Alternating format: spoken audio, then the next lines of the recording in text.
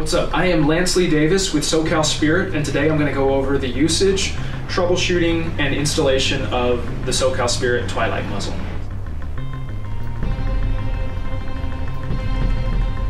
To turn it on, you're going to flip this switch to the right, and you turn to the left to turn it off. There are two operating modes. There's a high-powered mode and a low-power mode. In high power, you can expect about two hours or more of battery life. In low power, you can expect about five hours. Personally, I hunt with mine in low power mode most of the time. I use high power for extremely murky water or sometimes if the battery is getting a little bit low, there'll be some fall off in the brightness and I'll switch it into high powered mode to get the last little bit of juice out of the battery for that. So to switch between modes, you're going to turn the switch on and off quickly. That, that will toggle between the modes.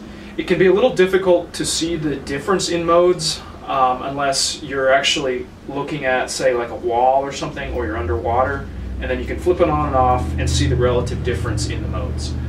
So there is a third mode. There is an extreme low power mode that the light will automatically switch into when the battery is critically low. It does this to protect the battery lithium ion batteries can be damaged if they're over discharged, so this is an automatic feature. You can see this little muzzle just switched into the mode. It's uh, dimmed way down and it's strobing.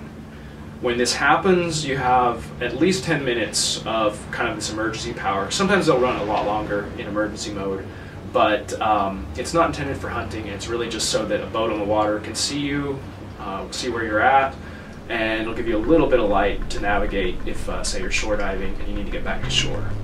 Then the light will shut itself off um, without a lot of warning once it goes into this mode. So this is really like, this is your hey dummy type warning. All right.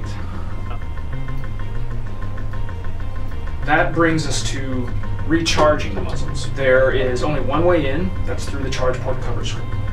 So quick note on these is that never ever open your muzzle up if it's wet, okay? Salt water is always the enemy of electronics. These are really durable, they're incredibly well sealed, they're pretty much leak proof. But if salt water dribbles down into that port, it can corrode the port. There's electronic fail safes actually built into this muzzle that will keep it from frying and being destroyed forever if salt water gets in there and shorts. Uh, and I will cover that in the troubleshooting. But anyway, rule of thumb, don't open it unless your muzzle is clean and dry. So you just use a Phillips screwdriver to uh, open this guy up. Here's your screw. There's a gasket under there. I'll go over that in a bit. Put the screw somewhere safe. Then you can take your charger and plug it in. And then you're going to plug this into the wall. When the light is red, it's charging. When it's green, it's done. These chargers are a little bit quirky in that you need to plug it into your muzzle, then plug it into the wall. Um, it may not register that the muzzle needs charge if it's already plugged into the wall and then you plug the muzzle into it. Um, I don't know why, but that was a quirk of these chargers that we got. So once it's charged, you're going to replace the screw. You can check the condition of the gasket. They last a very long time. Uh, this one is good. There's no cracks or leaks or tears. One quick note, um, I know a lot of you guys that have owned nice dive flashlights are used to putting silicone grease on the fittings. For these muzzles, it's not necessary and we do not recommend it. The reason is the tolerances are very small in there. If you get silicone grease in the charging contacts, it can be very, very difficult to clean it out. And of course, silicone grease is an insulator. So if it gets down in there on those contacts, it may be very difficult to plug in and recharge your muzzle. So to fit the screw back in, we're just going to put it in.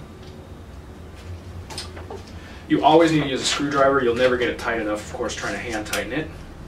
So we turn it until I can feel that, that gasket just starting to compress, and then I'm just going to give it another quarter turn. That's all it needs. This is good to like 200 feet. Um, you can crank it down a little more if you really want, uh, but it's not necessary and it'll put extra wear on your O-ring, which means you may have to change it sooner and you need to be a little more aware of checking it to make sure that um, it doesn't have any tears or leaks. All right, let's talk troubleshooting.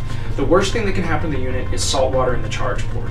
There's built-in electronic fail-safes that will keep the unit from shorting out and frying if salt water gets in there, but if it happens on a regular basis, you can corrode the port and it will make it impossible to recharge your muzzle. That's not covered under warranty. So uh, I'm going to demonstrate a cleaning procedure.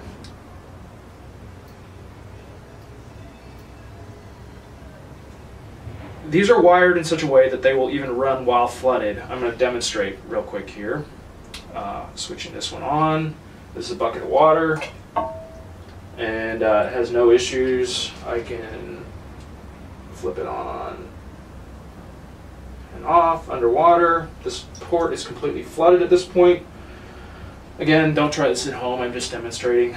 But um, anyway, if you do get salt water in here, what you want to do is um, you can leave the light on or off. If the light is on, the charge port is actually inactive. So um, just leave it on. And all I would do is I would take, make sure that the screw is out and put it in a bucket of fresh water. Rinse it, swish it around, really make sure that little port is completely cleaned out.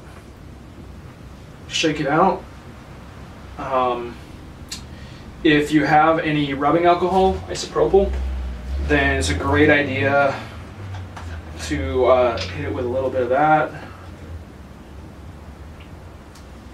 Shake it out, and and then you want to let it dry out. You can air dry it, or turn it up outside and let it kind of drip out. Or if you have some office air, you can use that to spray it out.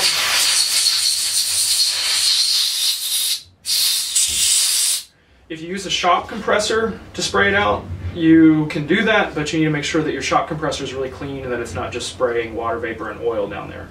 So office air is always a safe bet. And it's dry, so it's good to go. I can put the, the cover screw back in or I can recharge it. That's the procedure for a flooded uh, charge port. Uh, one quick note too on this knob, if you keep turning to the left, um, you should encounter some resistance. If you keep turning, you will strip the screw out and leave debris in the hole. And while you can put a screw back in there, it's not covered in a warranty and it's not recommended. So um, again, if you get sand in it, just kind of open it up a few extra turns and give it a little rinse.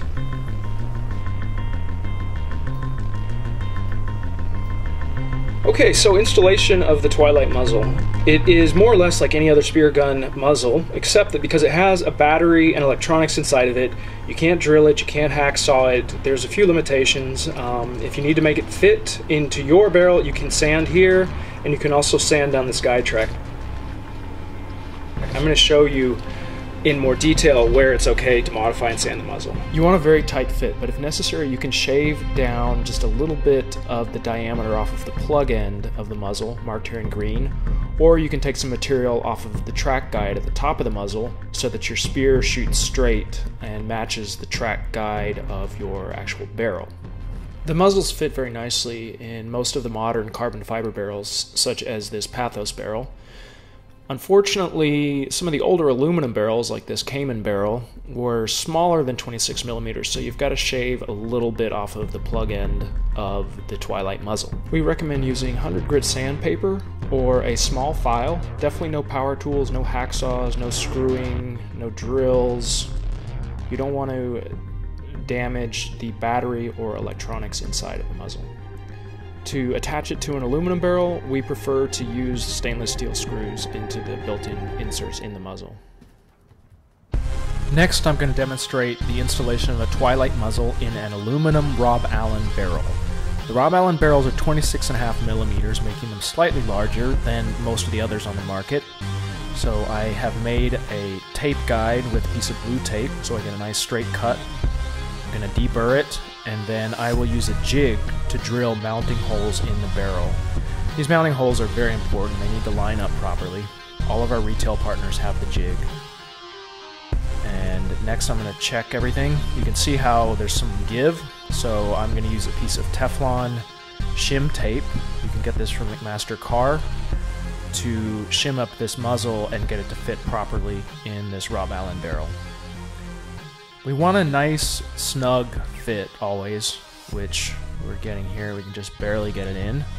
Then once it's in, I'm gonna again check to make sure all of the mounting holes lined up between the ones I drilled and the pre-made holes in the muzzle. Then I'm gonna plug the muzzle. Here I'm using some Aqua Seal. which is a good urethane glue. 5200 would also work well for this.